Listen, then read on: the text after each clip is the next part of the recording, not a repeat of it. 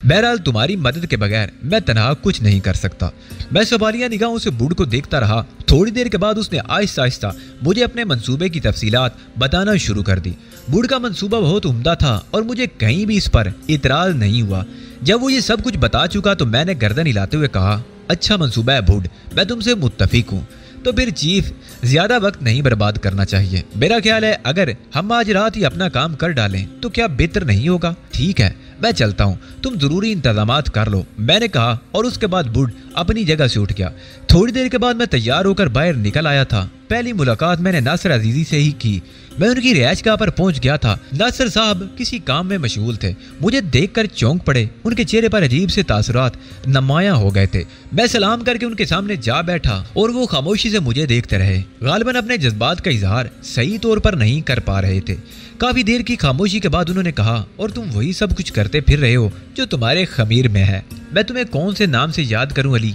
क्या कहूँ तुम्हें? कितने एहसानात करोगे हम पर? कितना शर्मिंदा करोगे हमें? मैं नहीं समझा, नासर साहब। मैंने कहा, शतीला कैंप में उस मुखैर और नेक दिल इंसान के नाम का चर्चा है, जिसने बेपनाह दौलत खर्च करके उन लोगों के आराम का बंदोबस्त किया है। बहुत से लोग अली यार खान को पहचानते हैं। सब बेकार बातें नासर साहब। सब बेकार बातें मैं जो कुछ करता हूँ, वो मेरे अंदर की आवाज़ है। न मैं किसी पर एहसान करता हूँ, न मैं किसी पर एहसान लादना चाहता हूँ। बर करम, इन बातों का ज़िक्र करके मुझे शर्मिंदा ना करें।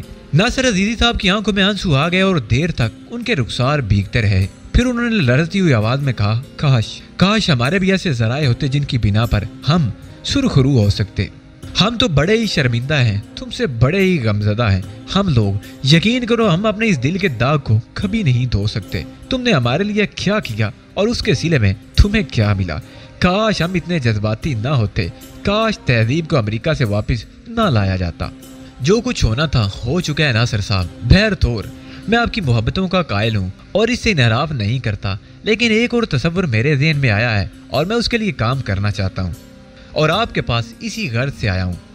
अजीज़म, अगर हमारे जिसम की खाल भी तुम्हारे काम आई तो हम ये बात अल्फाज तक तो हम ये बात अल्फाज तक की ना रहने देंगे। नासर अजीजी, पुर दर्द लहजे में बोले और मैं गर्दर हिलाने लगा। फिर मैंने नासर अजीजी को अपना वो मंसूबा बताया, जिसे मैं इन लोगों की मदद से मुकम्मल करना चाहता था। नासर अजीजी का चेहरा आग की तरह शुरू हो गया। उनकी आँखें चमकने लगी थी और उन आँखों में आँसू भर आए थे। उन्होंने बड़े जज्बाती अंदाज में कहा, अली, क्या तुम इस हकीकत को तस्लीम करोगे? क्या हम लोग इसी अंदाज में सोच रहे थे? हमारे जेन में भी वो लम्हाज ज़िंदा थे, जिनमें तुम पर एक मजमूम इल्ज़ाम लगाया गया था, जिस वजह से हमको तुमसे बरगश्ता किया गया था और हमारे और तुम्हारे दरमियान एक खलीज हायल कर दी गई थी। हम उसी अंदाज में सोचते रहे हैं और वो तमाम लोग भी जो इस सिलसिले में तुमसे हमदर्दी रखते हैं यही सब कुछ सोचते रहे हैं। ये सब कुछ कहने के लिए, हम में से किसी में भी हिम्मत नहीं थी। हम अपने आप को तैयार ना कर सके। इसलिए कि कहीं तुम इस पर भी शक न करना शुरू कर दो। छोड़िए नासर साहब, इन बातों को। इनमें क्या रखा है? इन लोगों ने जो कुछ नहीं किया, बहर तौर वो मेरे जहन में आया है। अब भी इस सिलसिले में मेरी मदद कीजिए। यूँ समझ लो कि सब कुछ तुम्हारी ख्वाहिश के मुताबिक ही होगा। वो तमाम इंतज़ाम कर लूँगा, जिनके बारे में तुमने कहा है। बस बाकी मंसूबा तुम्हारा अपना है। लेकिन इस सिलसिले में अगर हमारी तुम्हें कोई मदद दरकार हो तो मैं हाजिर हूँ। उस हद तक कर दीजिए आप जितना मैंने कहा है। उसके बाद के हालात मेरे ऊपर छोड़ दीजिए। ठीक है? नासिर साहब ने कहा और फिर काफ़ी देर तक वो मुझसे इस मंसूबे के बारे में गुफ्तगू करते रहे। उसके बाद मैं उनसे इजाज़त लेकर चला आया। मेरी मंजिल अब वही इमारत थी जिसमें मैंने अपनी रिहाइश इख्तियार की हुई थी। फिर मैं अपनी उस कोठी में आ गया जो मेरी तहवील में थी। ज़ाहिर इस पर किसी और का हक नहीं था। अंदर दाखिल हुआ तो अजीब से जज्बात जाग उठे। यहाँ तो मैंने कुछ और ही किया था। इस इमारत में तो मैंने तहजीब को अपनी बीवी की हैसियत से उबरते देखा था। इस इमारत से तो मैंने अपना मुस्तकबिल वाबस्ता कर लिया था। बहुत कुछ सोचा था उन दिनों, लेकिन तकदीर ये सब कुछ नहीं चाहती थी। अंदर पहुँचा तो बुढ़ से मुलाकात हो गई। जिम्मेदार शख्स अपने कामों में मसरूफ था। मुझसे मिला और मुझे उस कमरे में ले गया, जहाँ अपना काम कर रहा था। वसी अरीज कमरे को खाली कर लिया था और अब उसमें फर्नीचर नाम की कोई चीज़ नहीं थी। अलबत्ता वो एक खौफनाक अजियत गाह नज़र आ रही थी। बुढ़ ने वो तमाम ज़रूरी इंतज़ाम कर लिए, जो उसकी जबान खुलवाने के लिए किए जा सकते थे। फिर उसने सवालिया निगाहों से मुझे देखा हाँ बुढ़, मैं नासर अजीजी से मिल चुका हूँ। ठीक है चीफ। तो फिर आज रात को बहुत सी बातों का इंकशाफ होगा। मैं खामोश हो गया। बूढ़ ने दूसरे कमरे में ले जाकर मुझे मेकअप का सामान मुहैया कर दिया। वो जो बाज़ार से खरीद कर लाया था और मैंने अभी से तैयारियाँ शुरू कर दी थी। मैंने अपने और बूढ़ के चेहरे में नमाया तब्दीली पैदा कर ली थी। अब मैं शक्लो सूरत से गैर मुल्की नज़र आ रहा था। मैंने सर पर सुनहरे बालों की विग भी लगाई और मेरी शख्सियत बिल्कुल तब्दील हो गई। एक उम्दा सा सूट पहनकर मैं मुतमिन हो गया। बुड को भी मैंने मुकम्मल तौर पर तब्दील कर दिया। रात को तकरीबन पौने ग्यारह बजे मैं और बुड उस इमारत से निकल आए। मेरे पास एक स्याह रंग की वैन थी, जिसे बुड ड्राइव कर रहा था और मैं ड्राइविंग सीट के बराबर वाली सीट पर बैठा हुआ था। एक पब्लिक कॉल बूथ से मैंने नासर अजीजी को टेलीफोन किया और फ़ौरन ही उनकी आवाज़ रसीवर से उभरी। तुम्हारे टेलीफोन का ही मुंतजिर था मैं। उन्होंने कहा, क्या पोजीशन है नासर साहब? तुम्हारी तो के मुताबिक वहीं पहुँच जाओ। जहाँ का हवाला मैंने तुम्हें दिया है, सब कुछ तुम्हारी मर्ज़ी के मुताबिक ही होगा। बहुत बहुत शुक्रिया। मैंने जवाब दिया और टेलीफोन बंद कर दिया। इससे ज़्यादा गुफ्तु करना मुनासिब नहीं था। मैंने बूढ़ को उस जगह के बारे में तफसीलात बताई और बूढ़ ने गर्दन हिला दी। थोड़ी देर के बाद वैगन एक पुरस्रार इमारत के नज़दीक पहुँच गई, जहाँ खामोशी और सन्नाटे का राज था। रात का दूसरा पैर शुरू हो चुका था और इतराफ में मुकम्मल खामोशी छाई हुई थी। मैं और बुड नीचे उतर आए, वैगन को हमने एक जगह आड़ में खड़ा कर दिया था। मैंने अपने चेहरे पर स्याह रंग की एक नकाब लगा ली और दूसरी नकाब बुड ने अपने चेहरे पर लगा ली थी। हम लोग इमारत में दाखिल हुए तो हमारी मुलाकात एक दुबले पतले बदन के मालिक शख्स से हुई। मैंने उसके सामने सिर्फ़ दो लफ्ज कहे। उस शख्स ने गर्दन खम करके मुझे अपने साथ आने के लिए कहा। दो राहदारियों से गुजरने के बाद बिलाकर हम एक कमरे के दरवाजे के सामने पहुँच गए जहाँ पहुंचकर उस शख्स ने मुझसे सरगोशी के अंदाज में कहा, आप अपना काम शुरू कर दीजिए, ठीक है? मैंने कहा और दूसरे ही लम्हे फिजा में एक दिलदोज चीख गूंज उठी, जो उस शख्स के मुँह से निकली थी। मैंने मुतमिन अंदाज में गर्दन हिलाई। उस शख्स ने अपने लिबास में से एक गुब्बारा निकाला, जिसमें सुर्ख रंग भरा हुआ था, और फिर ये सुर्ख रंग उसके इतराफ में फैल गया। वो ऊंधे मुँह ज़मीन पर लेट गया और उसी वक्त दूसरा शख्स भी करीब आ गया। उसने भी उसी अंदाज में चीख कर अपने आप को सुर्ख रंग से रंगीन कर दिया। वो दोनों ज़मीन पर ऊंधे मुँह लेट गए। मैं और बूढ़ उस दरवाजे की जानी बढ़ गए जो बाहर से बंद था। ताला वगैरह खोल दिया गया था। मैंने एक लंबी टार्च निकाली और दरवाज़ा खोलकर अंदर दाखिल हो गया। दरवाजे से दाखिल होते ही मैंने अशकरी को देखा, जो बदवासी के अंदाज में खड़ा हुआ था। दरवाजे की जानी आँखें फाड़ रहा था। टार्च की रोशनी उसके चेहरे पर पड़ी तो उसने जल्दी से दोनों हाथों से मुँह डांप लिया। मैं उसके करीब पहुँच गया। आओ, मैंने भारी लहजे में कहा, और वो फुर्ती से मेरे नज़दीक पहुँच गया। आ गए आप लोग, आ गए। उसके अल्फाज ने मेरे पूरे बदन में सिनसनी दौड़ा दी थी। हाँ आ जाओ, जल्दी आओ। एहतजाम असगरी तेज़ी से हमारे साथ चल पड़ा। बाहर निकल कर उसने उन दोनों ऊंधे सीधे पड़े लोगों को देखा, जिनके इतराफ में सुर्ख रंग या किसी जानवर का खून बिखरा हुआ था। एहतशाम असगरी ने खुश कोंटों पर जबान फेरी और फिर कपकपाते लहजे में बोला, और कोई तो नहीं। चले आओ, तुम्हें इन बातों से गर्व नहीं होनी चाहिए। मैंने गैर मुल्की लहजा बनाते हुए कहा और एहतशाम असगरी खामोश हो गया। मैं और बूढ़ उसे लिए हुए स्याह वैगन तक ले आए। एहतशाम खुश नज़र आ रहा था। मैंने उसे वैगन के पिछले हिस्से में बिठाया और दरवाज़ा बाहर से लॉक कर दिया। मैं खुद बुढ़ के पास ही ड्राइविंग सीट पर जा बैठा था। बुढ़ ने फुर्ती से वैगन स्टार्ट करके आगे बढ़ा दी। हम वैगन के दरमियानी शीशे से एहतशाम असगरी को देख चुके थे। वो मसरूर अंदाज में वैगन की सीट से पुश टिकाए बैठा हुआ था। उसका अंदाज बताता था कि हमने जो कुछ उसके बारे में सोचा था, गलत नहीं सोचा था। गोया उसे किसी की आमद की उम्मीद थी। बुढ़ ने वाकई एक अजीबो गरीब इंकशाफ किया था और अब इस इंकशाफ की सच्चाई के सबूत आहिस्ता आहिस्ता मिल रहे थे। थोड़ी देर के बाद वैगन इमारत में दाखिल होगी हमने फैसला किया था कि एहतशाम असगरी को इमारत के बारे में कोई अंदाज़ा ना होने दे। मुमकिन है वो इस इमारत से भी वाकिफ हो। चुनाचे जब उसे वैगन से उतारा गया तो उसकी आँखों पर स्याह पट्टी बाँध दी गई थी। ये किस लिए? उसने सवाल किया। जो कुछ भी किया जा रहा है, वो ज़रूरी है, इसलिए खामोश रहो। मैंने एहतशाम असगरी का बाजू पकड़ लिया और उसके बाद हम उसे लिए हुए एक कमरे में पहुँच गए। जो आरामदेह फर्नीचर से आरास्ता था। यहाँ कमरे का दरवाज़ा बंद किया गया और हमने एहतशाम असगरी की आँखों की पट्टी खोल दी। शुक्रिया, बहुत शुक्रिया जनाब। क्या मैं आप लोगों का चेहरा देख सकता हूँ? क्या तुम इस बात से मायूस हो गए थे कि हम तुम्हारी मदद नहीं करेंगे? हकीकत यही है, मैं इस हकीकत से इनकार नहीं करता। एहतशाम असगरी ने मुस्कुराते हुए कहा, हम नहीं जानते कि तुमसे क्या वादा किया गया था। बैर तो हमें तो सिर्फ़ ये हदायत मिली थी कि तुम्हें उस इमारत से निकाल लाएँ। मुझे यही कहा गया था कि बिलाकर मुझे उन लोगों के इस चुंगल से रिहा कराया जाएगा। हूँ, उसके बाद तुम्हारा क्या प्रोग्राम है? अगर आप लोग इस बारे में नहीं जानते तो आपको बताना मुनासिब भी नहीं। आप सिर्फ़ ये इतला दे दीजिए कि आपने मुझे वहाँ से निकाल लिया है, लेकिन क्या ये इमारत महफूज है? तुम्हें इतमान रखना चाहिए। वैसे मुझसे ये कहा गया है कि मैं तुम्हें संभालूं और तुम्हारी जो ज़रूरियात हों, वो पूरी कर दूँ। ओह, गोया आप ही को मेरा बकिया काम भी करना है। हाँ तो फिर मुझे यहाँ से लंदन भिजवा दीजिए। आप जिस तरह भी चाहें इंतज़ाम करें। मुझसे यही कहा गया था। कि मुझे मेरी पसंदीदा जगह पहुँचा दिया जाएगा। तो फिर आओ, मैं तुम्हें तुम्हारी पसंदीदा जगह ले चलूँ। मैंने अपने लहजे की गर्राहट को बमुश्किल तमाम दबाए रखा था। अब इस बात में कोई शक नहीं रह गया था कि यह सब कुछ एक सोची समझी साजिश थी। बुढ़ का कहना बिल्कुल दुरुस्त था। मैंने उस शख्स को साथ लिया और फिर हम उस अजियत गाह में पहुँच गए, जो बुढ़ ने तैयार की थी। इलेक्ट्रिक की अंगीठी पर सलाखें लगी हुई थी। एतराव में अजियत रसानी के बहुत से आलात सजे हुए थे। एक कमरे में दाखिल होने के बाद मैंने और बुढ़ ने चेहरे से नकाब उतार ली। एहतशाम असगरी हैरान निगाहों से चारों तरफ़ देख रहा था और फिर शायद वो सब कुछ समझ गया। उसका रंग जर्द हो गया। मैं और बूढ़ खामोशी से एक दीवार से उसे देख रहे थे। ये ये क्या, ये सब क्या है? उसने सवाल किया। अभी इस बारे में तुम्हें बता दिया जाएगा। एहतशाम एक मिनट रुक जाओ। मैंने कहा और उसके बाद मैंने चेहरे से मेकअप उतार दिया। एहतशाम असगरी चुंदियाई निगाहों से मुझे देख रहा था। कमरे में तेज रोशनी फैली हुई थी। दूसरे इलम में मैंने उसे चकरा कर ज़मीन पर बैठते हुए देखा।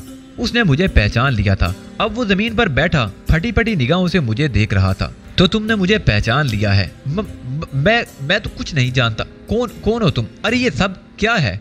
ये सब क्या है? तुम तुम सब कौन हो? मुझे यहाँ क्यों लाए हो? और ये ये उसका लहजा बदल गया। लेकिन मेरी आँखों में अब खून ही खून था। ये मेरी तहजीब का कातिल था। ये मेरे मुस्तकबिल का कातिल था। इसने मुझसे तहजीब को छीना था। बूढ़ खामोशी से उसी गोशे में खड़ा रहा। मैंने उसे गिरेबान से पकड़कर उठाया और खड़ा कर दिया। अब तुम मुझे बताओ कि वो लोग कौन थे जिन्होंने तुम्हें तहजीब के कत्ल पर आमादा किया था। कैसा कत्ल? क्या क्या कर रहे तुम? मैं मैं मैं कुछ नहीं जानता। मेरा मेरा दिमाग च, मेरा दिमाग चकरा रहा है। वो एक दम ज़मीन पर ढह गया। मैं इतमान से आगे बढ़ा और इलेक्ट्रिक की अंगीठी पर रखी हुई सलाख उठाई जो गहरी सुर्ख हो रही थी। सुनो, मैं नहीं जानता कि मैं तुम्हें इस अंगीठी पर भून दूँ। चुनाचे अगर अपनी जान बचाना चाहते हो तो बिल्कुल साफ़ अल्फाज में ये बताओ कि वो लोग कौन थे, जिन्होंने तुम्हें इसके लिए आमादा किया था। मैं कुछ नहीं बताऊँगा, मैं कुछ नहीं जानता। तुम मुझसे कुछ नहीं पूछ सकते, कोशिश कर लो, जला दो मुझे, खाक कर दो। मैं जबान नहीं खोलूँगा, उसने कहा, और मैंने सलाख उसके पैरों के पंजे से लगा दी। उसकी दिल दोज चीख गूंज उठी, और वो ज़मीन पर तड़पने लगा। मैंने उसको दो तीन जगह से दाग दिया वो हैबत नाक आवाजों में धाड़ने लगा लेकिन मैं उसका पीछा नहीं छोड़ रहा था। तुम इस सदीगे से सिर्फ़ उसी सूरत में बच सकते हो एहतशाम असगरी के सच बोल दो। आह सु, सुनो तो सही मेरी बात मैं मैं कुछ भी नहीं जानता। यकीन करो मैं कुछ नहीं जानता।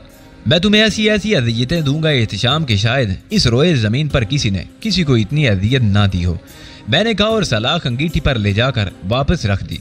सहमी हुई निगाहों से मुझे देख रहा था। तब मैं आगे बढ़ा और उसकी कमीज का गिरबान नीचे तक फाड़ दिया और उसके बाद मैंने उसके बदन से ऊपरी लिबास अलहदा कर दिया। फिर मैंने जेब से एक छोटा सा कलम तराश निकाला और इतमान से उसके सीने पर एक लंबी लकीर बना दी। वो एक बार फिर दाड़ा और उसने पीछे हटकर दीवार से टिकने की कोशिश की। मैंने उसे बालों से पकड़कर एक जोरदार झटका दिया और वो चारों शाने ज़मीन पर चित गिर पड़ा। तब मैंने उसके कटे हुए हिस्से को नाखन से खरीदा और उसकी खाल पकड़कर चुटकी में दबा ली। उसके बाद मैंने उसकी खाल काफ़ी कुवत से नीचे खींच दी और एहतशाम असगरी पागलों की तरह मुझे भिम्बोड़ने लगा। लेकिन उसकी खाल काफ़ी हद तक गोश्त से जुदा हो गई थी और वो सीने पर हाथ रखे तड़प रहा था। मर गया, अब मैं मर गया। अब मैं तेरे बदन के इस हिस्से को पिसी हुई सुर्ख मिर्चों से भर दूँगा, और उसके बाद तू अपनी जबान खोलेगा। यकीनन, तू अपनी जबान खोलेगा। नहीं नहीं, तुम ये नहीं कर सकते। उसने दफदन एक लंबी छलांग लगाई और दरवाजे से जा टकराया। मैं खामोशी से उसे ये कोशिश करते हुए देख रहा था, उसकी जहनी हालत काफ़ी खराब होती जा रही थी। वो दीवारों से टकरा रहा था, अपने आप को पीट रहा था। जिस जिस जगह लोहे की सलाख लगी थी, वहाँ से गोश्त बाहर निकल आया था और उसके पूरे बदन से पसीना बह रहा था।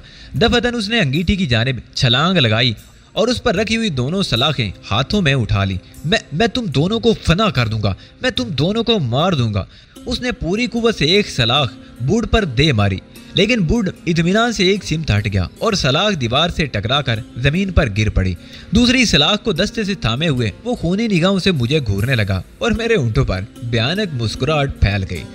ठीक है ठीक है, कोशिश तो करो। वाकई दिल जलाए एहतशाम क्योंकि क्योंकि तेरी महबूबा मर गई थी। उसका इंतकाम तूने मुझसे लिया। तूने तहजीब को हलाक कर दिया। सुन एहतशाम गौर से सुन। ये कमरा ही तेरा मकतल बनेगा। तू यहाँ से ज़िंदा वापस नहीं जा सकेगा। कुत्ते, बेहतर ये होगा कि मुझे उन लोगों के बारे में बता दे, ताकि तुझे मैं कोई अजियतनाक मौत ना दूँ। मैं कुछ नहीं जानता। तुम लोग मुझसे कुछ नहीं मालूम कर सकते। वो पागलों की तरह चीखा और उसने फुर्ती से मेरी तरफ़ छलांग लगाई। मैंने उसे अपने नज़दीक आते हुए देखा और जब उसने सलाख दस्ते से पकड़कर मेरे पेट में झोंकने की कोशिश की तो मैं हट गया। वो पूरी कुत से दीवार से टकराया सलाख वापस पलटी और उसके पेट से जा लगी। लेकिन मुझे इस बात की उम्मीद नहीं थी कि वो अपनी दीवानगी में ज़िंदगी से हाथ धो बैठेगा। सलाख उसके पेट में उतरकर पुश से बाहर निकल गई थी और वो इस तरह ज़मीन से ऊँचा उछल रहा था, जैसे मौत उसे अपनी गिरफ्त में लेने की कोशिश कर रही हो। ज़ाहिर है, जलती हुई सलाख उसके पेट में पेवुस थी। दूसरे ही लम्हे वो ज़मीन पर गिरा और उसका मुँह और आँखें खुली रह गई। ओ चीफ, इस बदबख्त ने बुरा किया। इसे तो मरना नहीं था, लेकिन जल्दी मर गया। जल्दी मर गया। मैं खामोशी से एहतशाम अस्करी को देख रहा था, जिसकी आँखें करबनाक अंदाज में फटी हुई थी। मुँह दहशत से खुला हुआ था और चेहरे पर खौफ के आसार मुंजमिद थे। मैंने उसके चेहरे पर थूक दिया। इसकी मौत कुत्ते की मौत से बदतर होनी चाहिए थी। यह साबित हो गया है बूढ़ के तुम्हारी सोच गलत नहीं थी। ये कुछ लोगों का आलाकार था। मुनीबा का कोई वजूद नहीं। इसने सिर्फ़ वो सब मेरी तहजीब को कत्ल करने के लिए किया था। सिर्फ़ और सिर्फ़ दौलत के लिए। हाँ चीफ हैरत अंगेज तौर पर हमारे इस तजर्बे के नतज अच्छे निकले। अब इस बात में कोई शक्को शुबा नहीं रह गया, लेकिन काश अपने साथियों के नाम बता देता। क्या ज़रूरी है बूढ़? क्या तुम लोगों का नाम नहीं जानते? क्या मैं उन्हें नहीं जानता? वो हमारी निगाहों में है। हम उन्हें बखूबी जानते हैं। तुम्हें खुद अंदाज़ा होगा कि वो कौन हो सकते हैं। बुढ़ ने कोई जवाब नहीं दिया। इसे जलता रहने दो, पड़ा रहने दो। इसे देखकर मुझे रूहानी सुकून मिलता है। आओ बाहर आओ एक मिनट चीफ, मैं जरा अंगीठी वगैरह बंद कर लूँ। बूढ़ ने कहा, और मैं गर्दन हिलाकर कमरे से बाहर निकल आया। एहतशाम असगरी मर चुका था, लेकिन मेरे दिल में आग बदस्तूर भड़क रही थी। ये आग सर्द नहीं हुई थी। मैं ख्वाबगाह में आकर मसैरी पर दराज हो गया। तहजीब की यादें मेरे दिल में नश्तर चला रही थी, और मेरी आँखें भीग जाने के लिए बेचैन थी। थोड़ी देर के बाद बूढ़ वापस आ गया। उसकी गर्दन झुकी हुई थी। एक सोफे पर बैठकर वो भी खामोशी से कुछ सोचता रहा। फिर जब ये खामोशी तवील हुई तो उसने कहा, चीफ, ये बात तो साबित हो गई है कि तहजीब का कत्ल किसी साजिश का नतीजा था, बल्कि वो लोग इसी सिलसिले में पेश पेश हैं, जो आपके और तंजीम के दरमियान दीवारें खड़ी रखना चाहते हैं। उन्हें ये बात भला कैसे गवारा हो सकती थी कि तंजीम से आपकी मफामत हो जाए और आप फिर उसके लिए सरगर्मे अमल हो जाए? हूँ। सवाल ये पैदा होता है कि अब मुझे क्या करना है? क्या मैं जो कुछ करूँगा बूढ़, उससे तहजीब वापस तो नहीं आ सकती। लेकिन दिल को सुकून मिलेगा। इतने लोगों का खून बहाना चाहता हूँ कि उनकी तादाद का शुमार न किया जा सके। उन लोगों का खून या मेरे दिल की आग को भुजा सकता है। खुदा की कसम, मैं उन्हें तहजीब के कत्ल के सिलसिले में इतनी अजियतें दूँगा कि वो अपने किए पर पछताते रह जाएँगे और उन पर ज़िंदगी तंग हो जाएगी। मैं गरीता रहा और बुढ़ खामोशी से मुझे देखता रहा। फिर वो अपनी जगह से उठा और बाहर से ठंडे पानी का एक गिलास लेकर आ गया। पानी पियो, चीफ, पानी पियो। मुझे वाकई शदीद प्यास महसूस हो रही थी। पानी का गिलास एक ही सांस में खत्म करके मैंने एक मेज पर रख दिया। हमें इस इंकशाफ से बहुत कुछ मिला है, चीफ। कम अज कम अब ये एहसास दिल से निकाल दो कि फलस्तीनियों ने तुमसे तुम्हारी मोहब्बत को छीना है। हाँ बूढ़ इस एहसास का निकल जाना बहुत अहमियत रखता है। कम अज कम ये तो है कि मैं अपने दोस्तों से बदन नहीं हूँ। वो लोग बिला वजह इस मुसीबत का शिकार होते रहे हैं। पहले भी ऐसा ही किया गया था और अब भी ऐसा ही हुआ है। नसर अजीजी, मसूद, तला और दूसरे लोग अपनी कोशिशों में मुखलिस थे। बिलाशुबा उन्होंने मुझे वो इनाम दिया था, जिसके बाद किसी और इनाम का तस्वुर भी खत्म हो जाता था। लेकिन मेरे दुश्मन भी अपनी कोशिशों में मसरूफ थे। और वो अपने जख्मों की जलन नहीं भूल सकते थे जो उन्हें मेरे हाथों से लगे थे। लेकिन तहजीब को कत्ल करा के उन्होंने इंसानियत के तमाम रिश्ते मेरे जहन से मिटा दिए थे। मैं शायद दरिंदों से भी इतनी नफरत ना कर सकता जितनी अब उनसे करता हूँ। और अब वो मेरी दरिंदगी का शिकार होते रहेंगे। बुढ़ तुम्हारे साथ है, चीफ। बुढ़ हर लम्हा तुम्हारे साथ है। बुढ़ ने पूरी इतमाद लहजे में कहा और फिर खामोशी तारी हो गई। बुढ़ किसी गहरी सोच में डूबा हुआ था। फिर वो बोला पिछली बार तंजीम आज़ादी फ़लस्तीन से तुम्हारे ताल्लुक ख़राब कराने में किसका हाथ था? क्या तुम उन लोगों को तलाश कर सकते हो? हाँ अमरीकी यहूदियों के साथ मेरी जंग चलती रही है। मैं उनके बड़े बड़े लोगों को ठिकाने लगा चुका हूँ और उन्हें शदीद तरीन नुकसान पहुँचा चुका हूँ। उन्हीं में ओली बावड़ का नाम सरे फहरिस्त है। ओली बावड़ मेरी वजह से जितने शदीद नुकसान उठा चुका है, उनका शुमार मुमकिन नहीं। यहाँ तक कि अमेरिकन सी आई ए ने उसे इन्हीं बुनियादों पर निकाल दिया। कि अपनी दुश्मनी में वो अमरीकी तंजीम के मफादात को नुकसान पहुँचाने से नहीं चूकता।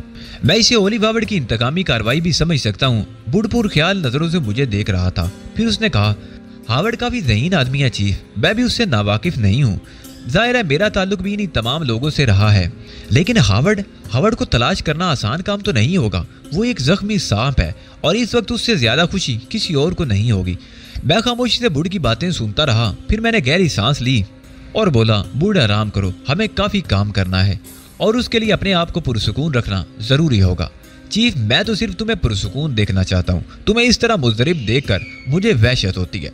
मैं तुम्हें ऐसे खौफनाक हालात में मुस्कुराते देखता रहा हूँ, जहाँ इंसानों के चेहरे खुश्क हो जाते हैं और उन पर मुस्कुराहट की रमक बाकी नहीं रहती। लेकिन चीफ ये सदमा, बिलाशुबा तुम्हारे लिए बहुत तकलीफ़ दिया है। तुम जैसे मज़बूत असाब के इंसान को इस सदमे को बर्दाश्त करने के लिए अपनी खसूसी कुतों से काम लेना होगा। मैं इंतहाई कोशिश कर रहा हूँ बुढ़, तुम देख लो, मैंने कोई शोक नहीं मनाया। जो कुछ मुझसे छीन चुका है, वो कभी वापस तो नहीं आ सकता। लेकिन आहिस्ता आहिस्ता सब ठीक हो जाएगा। जाओ, तुम आराम करो। बूढ़ मुझे खुदा हाफिज कहकर बाहर निकल गया। इस इमारत में दोबारा वापस आने का तस्वर भी जेन में नहीं था। मैंने ये तहजीब के लिए खरीदी थी, लेकिन जब तहजीब यहाँ नहीं आ सकी तो मैं यहाँ कैसे रह सकता था? लेकिन इस वक्त एहतशाम असगरी की जबान खुलवाने के लिए इससे महफूज जगह भी तो नहीं थी। कुछ वक्त यहाँ गुजार लूँ, उसके बाद यहाँ से चला जाऊँगा। मेरी तो अब कोई मंजिल नहीं थी। बहुत देर तक बिस्तर पर पड़ा, इन्हीं तनाइयों को महसूस करता रहा, फिर नींद ने एक मेहरबान माँ की तरह अपनी आगोश में ले लिया और फिर मैं पुरसकून हो गया। न जाने कितनी देर सोया रहा था। ख्वाबगाह का दरवाज़ा अंदर से बंद नहीं किया था और दफातनी किसी ने मेरे पैरों को पकड़कर ज़ोर से हिलाया और मैं जाग गया। मैंने भी इख्तियाराना अंदाज में पलटकर अपना पाँव हिलाने वाले को देखा, तब वो बूढ़ था। एकदम मेरे आवाज़ जाग गए और मैं फुर्ती से अपनी जगह से उठ गया। क्या बात है? मैंने सिरसराते हुए लहजे में पूछा, कोई खास बात नहीं है चीफ, लेकिन तुम्हें जगाना बेहद ज़रूरी था। उठ जाओ चीफ गुसल खाने में जाकर मुँह हाथ धो लो। वजह तो बताओ बूढ़, बस तुम इसे बुढ़ की दीवानगी समझ लो। और इस दीवानगी के लिए चीफ, बुढ़ तुमसे पेश की माफ़ी माँगता है। उठो, मुँह हाथ धो लो। अपने आप को ताज़ा दम कर लो, बुढ़ ने कहा, और मैं हैरानी से उसकी सूरत देखता रहा। फिर आहिस्ता से उठकर गुसल खाने में चला गया। ये बेवकूफ़ आदमी क्या चाहता है? कच्ची नींद से जाग जाने की वजह से सर में हल्का हल्का सा दर्द होने लगा था। मैंने काफ़ी देर तक मुँह पर पानी के छींटे मारे, सर पर पानी डाला और फिर बाल संवार कर बाहर निकल आया। हमें बाहर चलना है, चीफ। इस वक्त क्या बजा है बुढ़? पौने चार बजे हैं। माफ़ी चाहता हूँ। कहाँ चलोगे? बस यूँ समझ लो कि चलना बेहद ज़रूरी है। बताऊँगा पहले, तैयार तो हो जाओ। मैंने बूढ़ के कहने पर लिबास वगैरह तब्दील किया और बूढ़ मेरे साथ बाहर निकल आया। मेरी हैरतें उरूज पर थीं, कोई बात समझ में नहीं आ रही थी, लेकिन बूढ़ पागल नहीं था। यकीनन कोई ऐसी बात होगी, जिसकी वजह से वो इतनी रात को मुझे इस इमारत से निकाल कर बाहर लिए जा रहा था। बाहर वही स्या रंग की वैन खड़ी हुई थी, जिसमें हम एहतशाम असगरी को अगवा करके लाए थे। बुढ़ ने वैन का स्टेयरिंग संभाल लिया और मैं उसके नज़दीक बैठ गया। मुझे बताओगे नहीं बुढ़, कि कहाँ चल रहे हो? चीफ, तुम तो सो गए थे, बुढ़ ने कहा। वैन इमारत से बाहर निकल आई थी और एक सड़क पर दौड़ने लगी थी। हाँ मुझे बहुत मुश्किल से नींद आई थी। तुम यकीन करो चीफ, मेरी आँख एक लम्हे के लिए भी नहीं लगी। मगर अब चल कहाँ रहे हो बूढ़? क्या ये वक्त सफ़र करने के लिए मुनासिब है? ज़रूरी है चीफ, यही वक्त मुनासिब है, बूढ़ ने कहा। और मैं सीट की पूछ से सर टिका कर बैठ गया। वैन रात की तारीखियों की चीरती हुई किसी नामालूम मकाम की तरफ़ जा रही थी। मैंने अपने जहन को आज़ाद छोड़ दिया था। ये पागल शख्स मुझे कुछ नहीं बताना चाहता था। मुझे भी इसे मजबूर नहीं करना चाहिए। फिर एक पुरस्कार से इलाके में दाखिल होकर वैन एक बड़े से आते के अंदर दाखिल हो गई। मैं ताजुब से उछल पड़ा। कब्रस्तान था। ये एक कब्रस्तान था। रात की ओलनाक तारीकी तहद निगाह फैली हुई थी। दूर कहीं रोशनी टिमटिमा रही थी। कब्रें खामोश और सुनसान थी। उनके दरमियान हल्की सी आवाज़ बहुत तेज मालूम होती थी। बुढ़ वैन का इंजन बंद करके नीचे उतर आया। उसने मुझे नीचे उतरने के लिए कहा और फिर वैन के पिछले हिस्से में पहुँच गया। पिछला दरवाज़ा खोलकर उसने अंदर से कुछ सामान निकाला। उसके हाथ में एक फावड़ा था। तेज रोशनी वाली एक टार्च उसने मेरे हाथ में थमा दी और दोनों चीज़ें लेकर कब्रस्तान के अंदरूनी जानब चल पड़ा।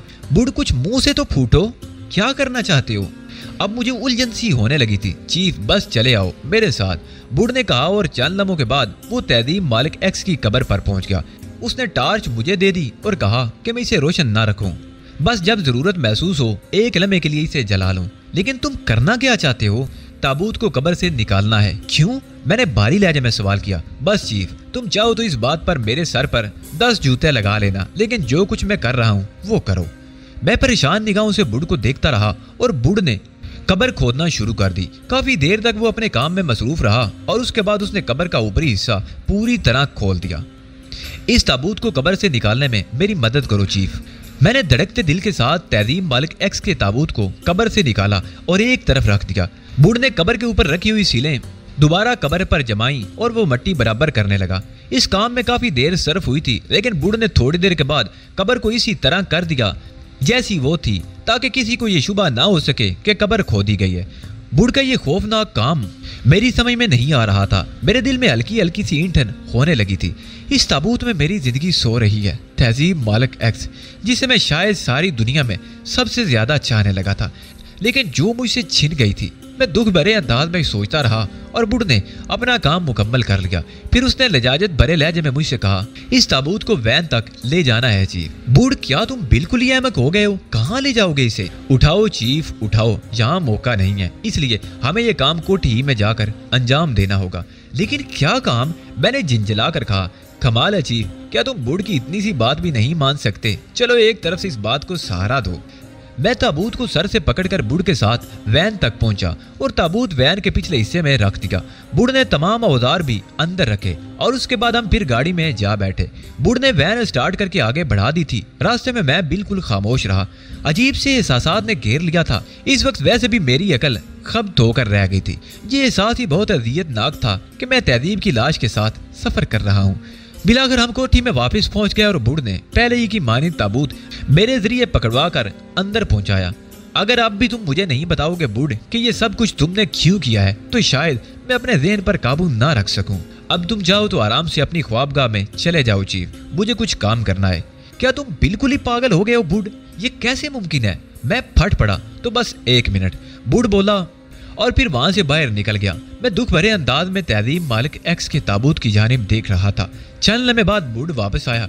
उसके हाथ में जो चीज़ दबी हुई थी, उसे देखकर वाकई ताजुब हुआ। ये अमोनिया की बोतल थी, जिस पर साइफिन लगा हुआ था।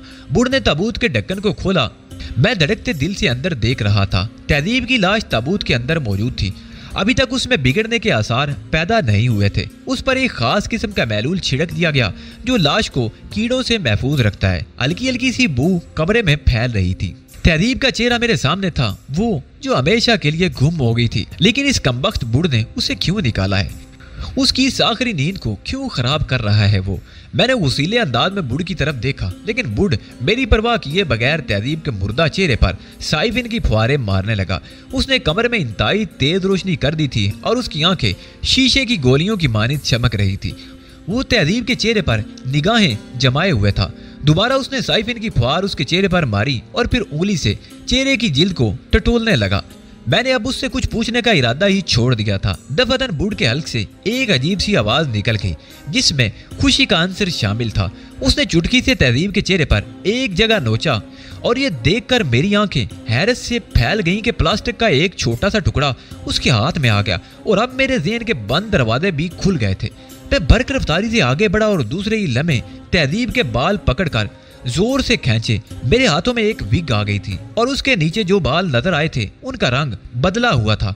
बुढ़ ने लाश की पेशानी साफ़ करना शुरू कर दी। उसके बाद रुखसार, ठोड़ी और गर्दन और चंद ही लम्हात के बाद मैं अपना दिल पकड़े खड़ा हुआ था और जो चेहरा प्लास्टिक के इन टुकड़ों के नीचे से बरामद हुआ था, वो तहजीब का नहीं था। बुढ़ ने उसे बागोर देखा और फिर एक चीख मार कर मुझसे लिपट गया। उसने मुझे अपने सीने से भींच लिया था। चीफ चीफ मुबारक हो मुबारक हो, चीफ। तहजीम मालिक एक्स नहीं भरी वो ज़िंदा है, चीफ। वो ज़िंदा है। मुबारक हो तुम्हें, चीफ। बुढ़ ने इंतहाई जज्बाती लहजे में कहा। मेरी तारीफ़ करो, चीफ। मुझे भी अपने आप से लिपटा लो। मैं तुम्हारी इस खुशी में तुमसे ज़्यादा शरीक हूँ। तुम्हारी तहजीब ज़िंदा है। ये तहजीब नहीं। देख लो। देख लो इसे, चीफ। बगौर देख लो। बुढ़ पर अजीब सी कैफियत तारी थी। वो खुशी से नाच रहा था। मुझे झंझोड़ रहा था। खुद मेरी भी अजीब हालत थी। मैंने बुढ़ को भेज दिया। मगर बुढ़ बुढ़ मैंने भी मुसरत भरे लहजे में कुछ कहना चाहा, मगर कह ना सका। एकदम से मेरे पूरे असाब ढीले पड़ गए थे। जैन मऊसा हुआ जा रहा था। मेरी आँखें मेरा साथ नहीं दे पा रही थी। हाँ ये तहजीब नहीं थी। हमने उसे तहजीबी की कब्र से निकाला था, और थोड़ी देर पहले ये तहजीबी का चेहरा था। सौ फ़ीसद तहजीब का, लेकिन अब तक कोई बात समझ में नहीं आ रही थी। बूढ़ू से देखता रहा, मुसरत में डूब कर ना जाने क्या क्या बकता रहा। मैं भी उसी की तरह पागल हो गया था। मैं तहजीब को मुख्तलिफ़ जावियों से देख रहा था, इस लाश को देख रहा था, लेकिन वाकई वो तहजीब नहीं थी। उसके जिस्म पर गोलियों के निशानात अब भी मौजूद थे, लेकिन वो कति तहजीब नहीं थी, कोई और थी। मेरा दिमाग बिल्कुल माऊफ हो रहा था। मुसरत ने मेरे असाब बिल्कुल सुन कर डाले थे। मैं वहीं ज़मीन पर बैठ गया। बुड अब भी खुशी से नाच रहा था। फिर उसने अपने आप को संभाल कर कहा, अफसोस, मैं इस वक्त तक एक लाश के पास खड़े होकर इतनी मुसरत का इजहार कर रहा हूँ। लेकिन वो जो बुराई की जानिब कदम बढ़ाते हैं, बुराई का शिकार हो जाते हैं। अब तुम इस लड़की को इसकी कब्र तक पहुँचा दो। हम दोबारा इसके चेहरे पर वो मेकअप नहीं कर सकते। चलो चीफ, चलो, तुम्हें अब भी मेरी मदद करना हो। अपने आप को संभालो, सारी मुसरतों को दबा लो। बमुश्किल तमाम मैंने अपने आप को संभाला। हाथ पाँव इस तरह बेजान हुए जा रहे थे जैसे इनमें जरा भी दम ना हो, लेकिन किसी न किसी तरह खुद को। घसीट रहा था, ताबूत उठाकर वापस वैन में रखा और फिर वही सारी कार्रवाई दोबारा दोहरानी पड़ी, जो इससे पहले कर चुके थे। दिन का उजाला फूट चुका था और इस वक्त जब हमने लाश को कबर में उतार कर कबर दोबारा बंद की तो सूरज की रोशनी पूरी तरह नमूदार हो गई थी। कब्रस्तान ऐसे इलाके में वाक़ था जहाँ ज़्यादा चहल पहल नहीं होती थी। इसलिए हमें काम अंजाम देकर वापस आने में बहुत ज़्यादा दुश्वारी नहीं हुई। कोठी में दाखिल होने के बाद बूढ़ उसी तरह मुसरतों से नाचता हुआ मुझे साथ लिए हुए अंदर आ गया और फिर बोला नहा लो चीफ नहा लो मैं भी नहा लूँगा। नहाने से ये नींद का खुमार दूर हो जाएगा। खूब नहाओ चीफ, बल्कि गुनगुनाओ गुसल खाने में जाकर गाने गाओ, कह के लगाओ। मैं तुम्हारी आवाज़ सुनना चाहता हूँ। पागल आदमी, बहुत ज़्यादा पुरजोश होने की कोशिश मत करो। जाओ, तुम गुसल कर लो। नहीं चीफ, तुम भी गुसल करोगे। बूढ़ बच्चों के से अंदाज में जिद कर रहा था। ठीक है भाई, ठीक है। मैं हार मानने वाले अंदाज में बोला। मैं गुसल करने के बाद काफ़ी बनाकर ले आऊँगा, बल्कि मैं गुसल खाने में जाने से पहले काफ़ी का पानी चढ़ाए देता हूँ। बस चीफ, तुम भी गुसल करके बाहर आओ। दोनों काफ़ी पियेंगे, बल्कि कई कई प्यालियाँ पियेंगे, ताकि नींद बिल्कुल ही भाग जाए। बूढ़ कमरे से बाहर निकल गया और मैं दरवाजे को थकता रहा। मैं गुसल खाने की तरफ़ बढ़ गया। हालाँकि मौसम गर्म नहीं था, बल्कि मैंने ठंडे पानी का शावर खोला और उसके नीचे खड़ा हो गया। ठंडे पानी की फवारे न जाने कब तक मेरे सर से नीचे बहती रही और फिर गुसल खाने के दरवाजे पर बूढ़ी ही की आवाज़ सुनाई दी। अब मैंने इतनी देर भी नहाने के लिए नहीं कहा था, चीफ। निकल आओ, तुम्हें खुदा का वास्ता। बुढ़ के अंदाज में एक अजीब सा मज़ाक महसूस हो रहा था। मैं चौंक पड़ा और फिर मैंने शावर बंद कर दिया। बाहर काफ़ी तैयार थी। उसकी सूंदी सूंदी बाप फिजा में बुलंद हो रही थी। बुढ़ ने काफ़ी की प्याली मुझे पेश करते हुए कहा, अपने दोस्त की तरफ़ से तहजीब मालिक एक्स की ज़िंदगी की मुबारकबाद कबूल करो चीफ। बुढ़ी हकीकत है कि इस वक्त मैं दुनिया का सबसे बेवकूफ़ आदमी हूँ और मेरा दिन कोई फैसला करने से कसर है। तुम फैसले मत करो चीफ, मैं तुम्हारी जहनी कैफियत को अच्छी तरह समझता हूँ। बुढ़ वाकई तुमने नाकाबले यकीन कारनामा अंजाम दिया है। वाकई तुम्हारी इस शख्सियत को मैंने कभी गौर से नहीं देखा था। अब देखा करो, चीफ, अब देखा करो। और ये बात समझ लो कि तुमने मुझे अपना मातहत बनाकर कोई गलती नहीं की है। और बुढ़ ऐसे नाजुक मौकों पर तुम्हारी मदद करेगा, ये बात दिल से तस्लीम कर लो। बुढ़, तुम्हारे लिए नागजीर है। ठीक है भाई, ठीक है। मैंने मुसरत भरे अंदाज में कहा, देखो चीफ कम अज कम अब ये बात तो साबित हो गई है कि तुम्हारे खिलाफ साजिश की गई है। मकसद वही था, यानी तुम्हें तंजीम के खिलाफ भड़का दिया जाए और तुम तूफानी अंदाज में ये सोचकर वो काम करने शुरू कर दो, जो तमाम तंजीम के खिलाफ हो। जिस तंजीम के लिए तुमने अपनी सारी ज़िंदगी बर्बाद कर दी, कि उसने तुम्हें क्या दिया? एक बार तुम पर शुबा किया गया और दूसरी बार तुम्हारी तहजीब ही तुमसे छीन ली गई और इसका रद्द अमल वाकई खतरनाक भी हो सकता था, चीफ। अगर तुम इतनी ठंडी तबीयत के मालिक ना होते तो बड़ा नुकसान होता। लेकिन दूध का दूध और पानी का पानी हो गया। हमें ओली बाबड़ के मुकाबले पर उसी जैसी शैतानी जाने से काम करना होगा। चुनाचे चीफ, उसके लिए एक बेहतर मनसूबा बंदी ज़रूरी है। मैंने उसके चेहरे पर नज़रें जमाते हुए कहा, तुम ही बताओ बुढ़ हमें क्या करना चाहिए? गुड चीफ, मुझे यकीन था कि मिलाकर एक दिन तुम बुढ़ की इस अहमियत को तस्लीम कर लोगे और उससे मशवरा मांगोगे। बुढ़ ज़रूरत से ज़्यादा खुश नज़र आ रहा था और बहुत बढ़ चढ़ कर बोल रहा था। मैंने मुस्कुरा कर कहा हाँ भाई, तुमने अपनी ये हैसियत मनवा ली है। सबसे पहले तो चीफ, मेरा ये मशवरा है कि तुम अपने इस शौक को बरकरार रखो। कोई भी तुम्हें देख कर ये अंदाज़ा ना लगा सके कि तुमने हकीकत को जान लिया है। हम इस कोठी में नहीं रहेंगे, चीफ। तुमने जिस होटल का इंतखाब किया है, उसी में एक कमरा मैं भी हासिल किए लेता हूँ। बैरूज से कहीं बाहर जाने की ज़रूरत नहीं। एक दिल शकिस्ता इंसान को जो कुछ करना चाहिए, वही तुम करते रहो। अगर तुमने अपनी जात में नुमाया तब्दीलियाँ पैदा ना की तो बस यूँ समझ लो कि ओली बावड़, होशियार हो जाएगा और हम अपना काम नहीं कर सकेंगे। इन तब्दीलियों से तुम्हारी क्या मुराद है? खुद को दीवाना ज़ाहिर करो। वो करो चीफ जो इससे पहले तुमने कभी नहीं किया। देखो चीफ बुढ़ ने एक कारनामा अंजाम दिया है। कम अज कम इस मसले में तो इसकी हैसियत सरबराह की रहने दो। ज़िंदगी भर याद करेगा, बुढ़ भी। ठीक है भाई, ठीक है, मगर तुम मुझे गाइड करते रहना। बिल्कुल बिल्कुल। बैरूत के होटल नाइट क्लबों का रुख करो। शराब तुम नहीं पीते, ना पियो। मैं तुम्हें उसके लिए मजबूर नहीं करूँगा। लेकिन अपने आप को बिल्कुल बदली हुई ज़िंदगी में ढाल लो। रक्सो ज़रूर से दिलचस्पी लो। और अगर और अगर कुछ लोग, मेरा मतलब है कुछ हसीनाएँ तुम तक पहुँचने की कोशिश करें। तो उन्हें मायूस ना करो। खुद को एक ऐसे इंसान की हैसियत से पोज करो, जो अपने रास्ते से भटक गया हो। अगर तुमने अपने पुराने तरीके जारी रखे तो और ही बावड़ होशियार हो जाएगा। वैसे तंजीम के सिलसिले में भी तुमसे यही कहूँगा कि उन लोगों से भी ज़्यादा रबता रखने की ज़रूरत नहीं। पहले तहजीब मालिक एक्स हमारे हाथ आ जाए, उसके बाद हम दूसरे मामला देखेंगे। मेरा मतलब समझ रहे हो ना? अगर किसी ज़रिए से हम लोगों से रबता कायम किया जाता है तो हम उस रबते को अहमियत देंगे। तंजीम के कुछ अफराद की दिल शिकनी भी करनी पड़े तो उस पर परहेज मत करना। वैसे उन लोगों के बारे में मैं अच्छी तरह जानता हूँ कि ये तुम्हारे गम में बराबर के शरीक है और अपने आप को बिला वजह मुजरिम महसूस कर रहे हैं। हाँ बूढ़, अब मुझे इस बात से शर्मिंदगी भी होती है। नहीं, चीफ, मुकाबला एक खतरनाक दुश्मन से है। अपने जज्बात को गहरी नींद सुला दो। हमें इसी अंदाज में काम करना है, जिसका तकादा हालात कर रहे हैं। इसी तरह हम अपने दुश्मन को बेनकाब कर सकेंगे, बल्कि उसके सीने में उतर सकेंगे। ये बहुत ज़रूरी है। ठीक कहते हो बूढ़ मैं तुम्हारी बात से इतफाक करता हूँ। Thank you chief thank you very much बुड को अपनी तमाम मेहनतों का, बुड को अपनी तमाम मेहनतों का फल मिल गया। एहतजाम असगरी की लाश के सिलसिले में क्या किया जाए? सॉरी चीफ दरअसल उस बदनसीब को ऐसे ही पड़ा नहीं रहने दिया जा सकता। कुछ ना कुछ तो करना ही पड़ता। चुनाचे मैंने उसे दरगोर कर दिया। मेरा मतलब समझ रहे हो मेरा मतलब समझ गए हो गया ना तुम? कहा? मैंने सवाल किया। बस ये मत पूछो चीफ। ये समझ लो कि इसी कोठी में। लेकिन इसका सुराग मिलना नामुमकिन है। हूँ तो तुम ये काम कर चुके हो? पहले ही कर चुका था चीफ। तुम्हें बताना ज़रूरी नहीं था। ज़ाहिर है उसकी लाश से तुम्हें क्या लेना?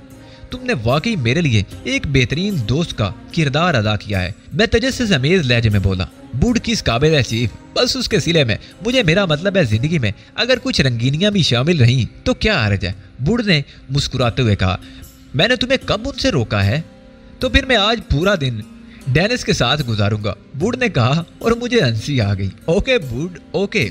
चीफ, मेरा ख्याल है, हमें ये कोठी छोड़ देनी चाहिए। हमारा मकसद तो पूरा हो ही चुका है। वैसे तुम अगर नासर दीदी से मुलाकात करो तो उसे ये हदायत ज़रूर दे देना। कि एहतशाम असगरी के मामले को खुद ही हैंडल करे और ये बात किसी भी तरह मंदिर यहाँ पर ना आए कि एहतशाम असगरी को तुमने किसी तौर हासिल किया था और उसके बाद से वो गुम है। हाँ मैं ये काम कर लूँगा, मैंने कहा। तो फिर मैं जाऊँ चीफ? सारी रात जागते रहे हो, सोओगे नहीं? मैंने पूछा, ज़रूर सोऊँगा चीफ, ज़रूर सोऊँगा। लेकिन डेनिस से मिलने के बाद